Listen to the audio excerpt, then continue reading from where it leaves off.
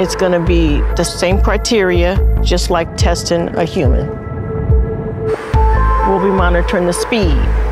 Are you going too fast, too slow?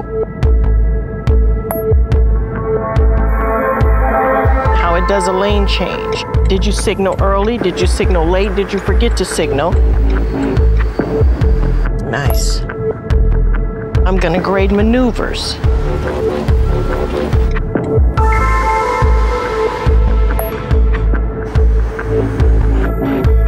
Making a complete stop.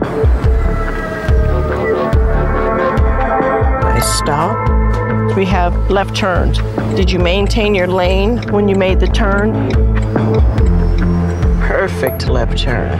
And of course, reaction time is very important. Oh, their hands are full.